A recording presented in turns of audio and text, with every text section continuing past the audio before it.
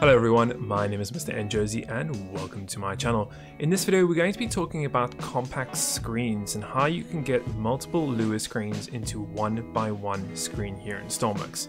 But before we get started, if you are enjoying these videos, don't forget that like and subscribe button and remember the little bell icon to be notified of my upcoming content as soon as it gets posted.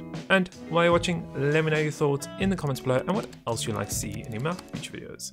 So that all said, let's get straight into it and get started with this video. So to get started, the idea of compact screens or the idea of projecting screens here in Stormworks is nothing new in terms of the community.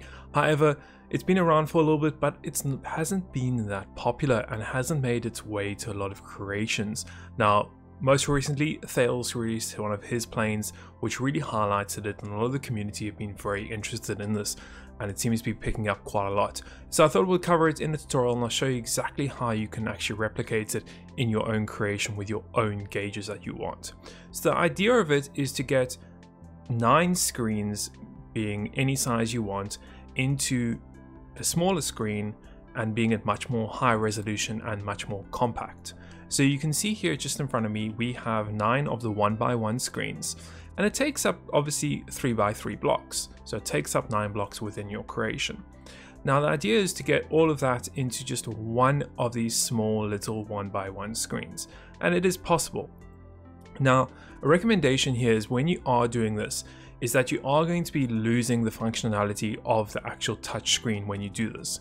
So the recommendation here is usually do it for something that you only want to use to display. So for example, like a throttle, or you want to display your speed or your altitude or vertical speed or camera, etc. Something that you're only displaying, nothing that you're actually going to be controlling with the touchscreen itself. Now it's relatively simple to actually set up. Once you've decided how you want your screens and what data you want on them, all you have to do is actually go into your creation, go and decide where you want your new one by one screen. So I'm just to go and put it over here. Make sure you obviously get it connected up. You have an on button, to turn it on. You obviously have some electric going through it. And then all you have to do is go and find a camera. Now you could use just the standard camera or you can use the one where you can zoom in. So the camera medium. You could use either one of these, it's completely up to you. And what you need to do then is just go back a few blocks from your actual screens here go and then all you have to do is point the camera to it. Just like so so make sure you leave at least two blocks here. If you're using the camera medium you don't have to do this because you can obviously increase and decrease the field of view. But if you're using the regular small camera just two blocks distance. Once you've got your two blocks distance make sure you obviously have your electric. Go and connect your video up to your new monitor here.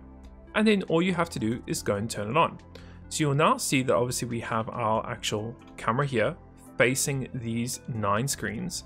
And we go to our one by one screen and you can now see it's gone and showing all those screens within your one by one.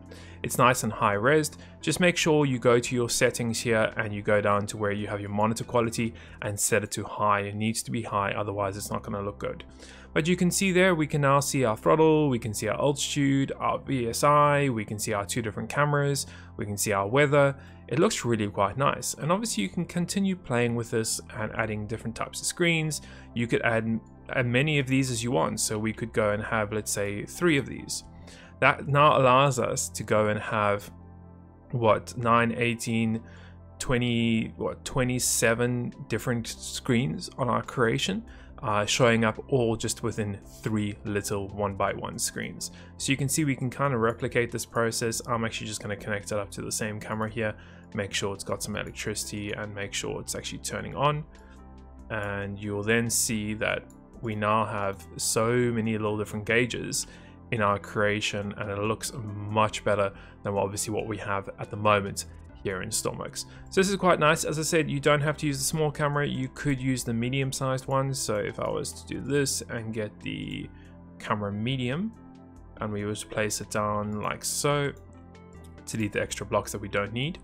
Once you have that, you can obviously then go and control the field of view. So we just get like a keypad, for example, and we're going to control the field of view on that.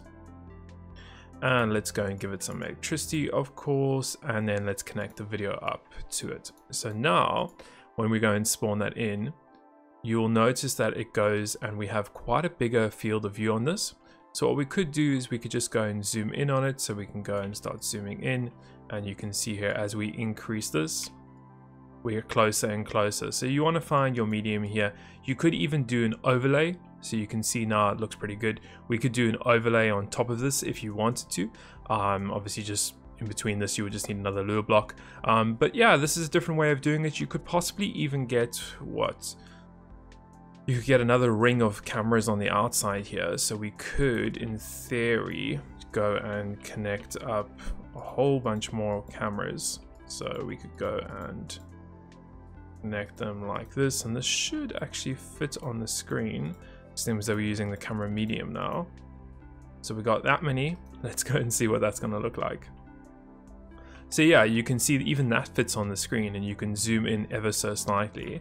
So let's do 0.1 zoom in and look now how many how many screens you can actually fit on there. I don't know if you would want it that small, but uh, yeah, that's just a little bit of an example how you can get so many Lua screens into one by one block here. It's really cool. Now, of course, there is the caveat where you have to have this somewhere in your creation. Now, if your creation is a bigger one, that's fine because you can obviously hide this wherever. Whether your creation is much smaller, it's going to be a little more challenging to go and fit this many screens plus leave a gap in between, plus have your camera. So that's where the challenging part comes into it. But I hope you have enjoyed this little tutorial. It's pretty straightforward and pretty simple, and I've seen a lot of obviously comments about this and also a lot of interest about this, so I thought I'd go and show you guys in a tutorial. But as always, let me know your comments below. What would you like to see in another tutorial coming up in the future? But as always, I hope you have enjoyed this video and found it entertaining and informative as always, and we'll see you in the next one.